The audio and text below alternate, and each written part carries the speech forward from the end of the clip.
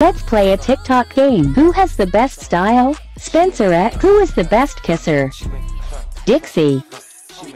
Who has a secret crush? Charli.